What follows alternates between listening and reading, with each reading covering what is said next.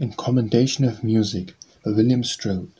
And whispering strains do softly steal her, With creeping passion through the heart, And when at every touch we feel her, Our pulses beat and bear apart, And frets can make a heart string shake, Philosophy can scarcely deny The soul consists of harmony.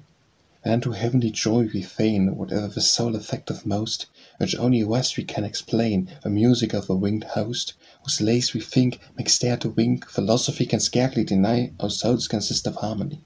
Oh lull me, lull me, charming Ayah, My senses rock with wonder sweet, Like snow on wool where fallings are, Soft like a spirit's are feet.